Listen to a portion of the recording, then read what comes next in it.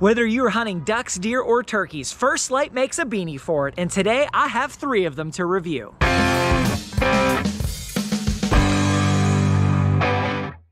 Hey, George back with the New Hunters Guide, the YouTube channel and podcast, helping new hunters get started and bringing new insights to all hunters. Today is Beanie Wars, and I'm going to review three First Lite beanies. First, I have the First Lite Furnace 350 Merino Wool beanie. Then I've got the First Lite Synthetic Origin beanie. And then I've got First Lite's brand new Tundra beanie. Now, full disclosure, guys, this review is not sponsored. Nobody is paying me a penny for this. I have bought all three of these beanies with my own money, but thank you very much to my Patreon supporters who help make this channel and these videos possible. Let's go ahead and jump right into it with the Furnace beanie.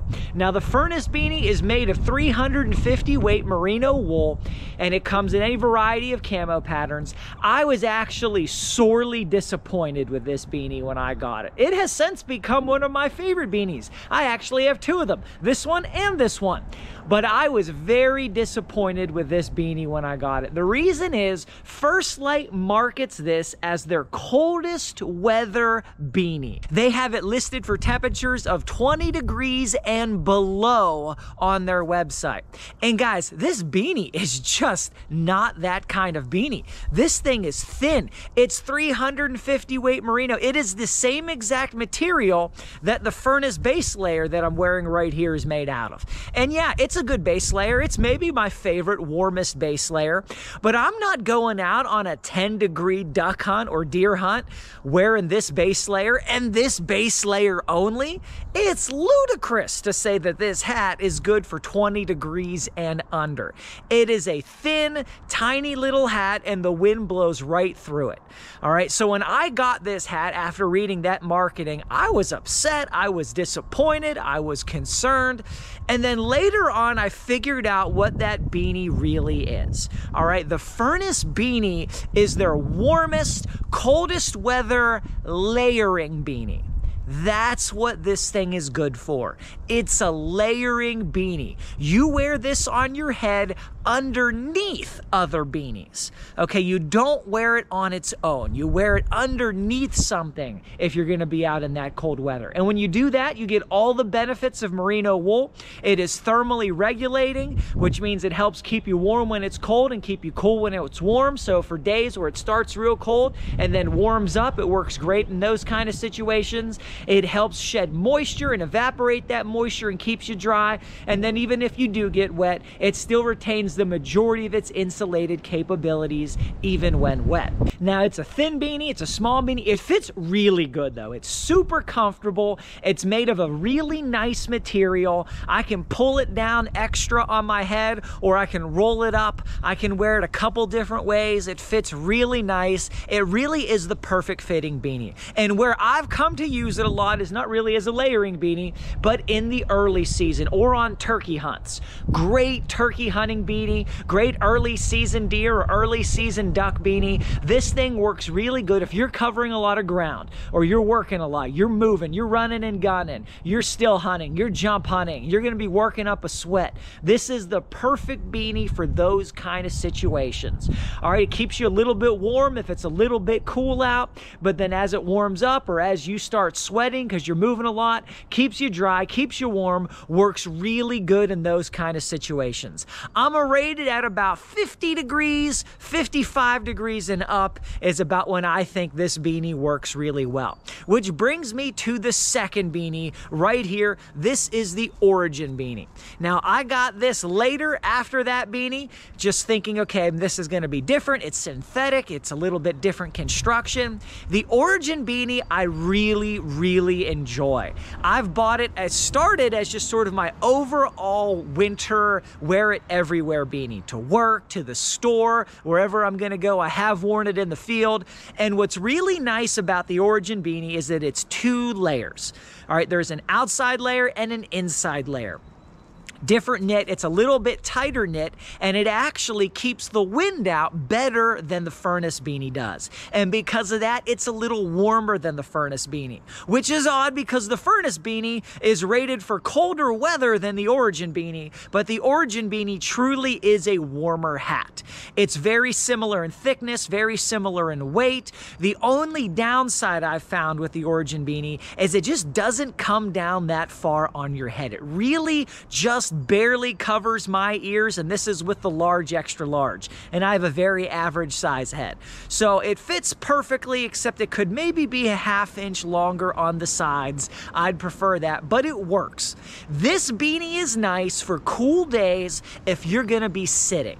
If you're in a tree stand, if you're in a hunting blind, if you're leaning up against a tree, hunting turkeys, whatever the case may be, if it's a cool day, but you're gonna be sitting, maybe you got a little bit of weather, this thing has a DWR finish, so it helps uh, shed a little bit of initial precipitation but it works nice in those kind of situations. It will keep you a little bit warmer than the furnace beanie will when you're sitting, but when you start moving and working up a sweat, it doesn't breathe quite as well, it doesn't evaporate quite as well as the furnace beanie does. That merino wool works really well when you're active. You gotta think about it, that's how God designed these sheep, right? They got this wool to help them stay warm when it's really cold at night, but they're wearing that same wool when it's hot and sunny during the daytime. So that thermal regulation property works really well with that. Whereas the Origin beanie, it is a little better as a stationary piece, little better in the wind, keeps you a little bit warmer. If I was out here shooting this video today and I wasn't using it as a demonstration piece, I'd be wearing it right now. But neither of these two beanies are cold weather beanies. And if you want a cold weather beanie, then you really need to hit the like button and help this video reach more people. That's the number one way to keep your head warm in the woods. No, but in all seriousness, I'd really appreciate if you guys hit the like button. If you like reviews, field tests, experiments, kicking the tires on assumptions, why don't you also go ahead and hit the subscribe button. But no, if you want a cold weather beanie, even though both of these are rated on First Lite's website as ultra cold weather beanies, they are not, okay? I read the reviews. They're like uh, 4.5 and 5 out of 5 stars from just about everybody saying these beanies are super warm, awesome, amazing, great for cold weather hunts. People are delirious. I really think people are blinded by their love for First Lite. I like First Lite. I'm a First Lite fan, but these are not cold weather beanies. And if you think differently, you're just not being realistic. If you want a cold weather beanie, this is what you need right here, the Tundra beanie. Okay, this is brand new from First Lite. Last season they released it. I had to have it. I was one of the first people to buy one. This beanie is excellent. Okay, this is a real cold weather beanie. You have this high, loft, fleecy inside, and then it is this DWR coated soft shell on the outside with a brim, and the brim is very nice and useful. This beanie really is made for cold weather, high wind, bad weather days. Now, that said, it is not made of Gore-Tex. It is not 100% waterproof. It is windproof, but water resistant. So if you get caught in a shower or something like that, this beanie's gonna work well for you. I do not hunt with this in all day driving rain on duck hunts. It's just not up for that task. But in anything less than that, it really does a great job. All right, this thing is super warm. It goes way down the back of your head and on your neck. It really is the beanie I have been waiting for from First Lite for a few years now very nice and warm. It fits very snug.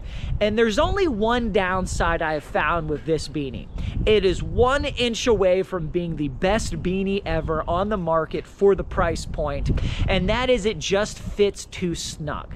Now I have an average size head. I bought the large extra large, which is the largest size that they have. I put it on my head and it is snug. It is not uncomfortable. It's not too tight. Fits perfect. It's everything I'd want it to be, except I can't wear anything under it, otherwise it becomes too tight.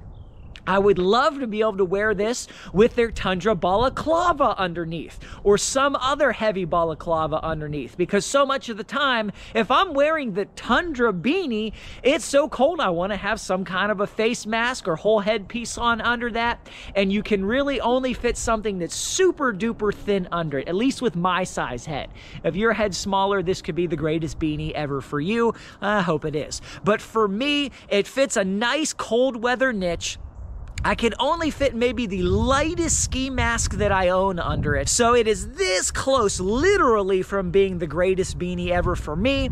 It's not quite there, but I still give it an A. It's super warm. When we had negative 10 degree temperatures earlier in the season, I was wearing this beanie out uh, on a very regular basis. Works really nice. But if it's gonna be super cold, you really probably wanna have extra room so you can wear something denser underneath of it. Now I'll put a link to all three of these beanies down below in the description. If you guys are not a supporter of this channel on Patreon, I want to invite you to click the link in the description as well. It is your support that makes videos like this, field tests, and others possible in a day where Second Amendment friendly channels are not popular with advertisers on YouTube. But in the meantime, why don't you guys check out this video right here where I did a full review on the First Lite 350 base layer and this video right here where I did some cold weather beanie experiments a little while back before I had these three pieces. Thank you so much for watching. Till next time, God bless you guys, and go get them in the woods.